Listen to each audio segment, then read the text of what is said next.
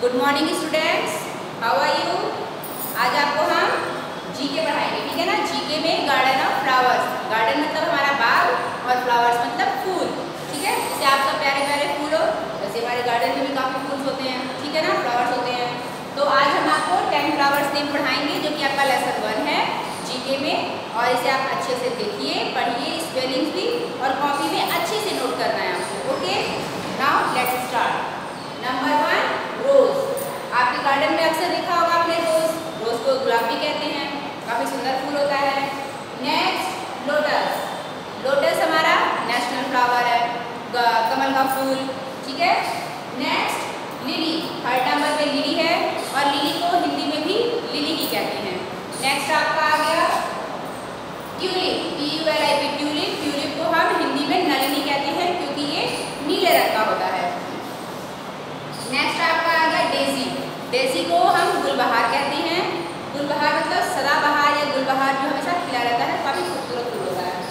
Next आपका six number है marigold. खाने वाला मारीगोल्ड बिस्किट नहीं, ये मारीगोल्ड मतलब होता है गेंदे का फूल। कई तरह के आते हैं ना ऑरेंज भी आते हैं येलो भी आते हैं लाइट ग्रीन भी आता है फूल, काफ़ी सुंदर फूल होता है।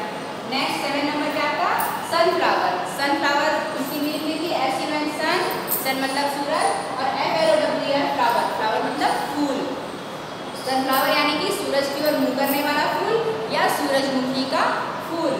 नेक्स्ट है आपका एक नंबर हिबिस्कस हिबिस्कस हम कहते हैं गुड़हल को। गुड़हल का फूल आपने देखा होगा अपने स्कूल में भी, घर के आसपास भी होगा, काफ़ी खूबसूरत फूल होता है। नेक्स्ट आपका आ गया जैस्मीन चमेली का फूल तो आप लोगों ने सुना ही होगा। चमेली का तेल भी आता है वो इसी फूल से बनता है ठीक है तो चमेली इंग्लिश में जैस्मीन और हिंदी में चमेली कहलाता है नेक्स्ट एंड लास्ट आपका डहेलिया डहेलिया को हिंदी में भी डहेलिया ही कहते हैं, काफ़ी सुंदर फूल होता है।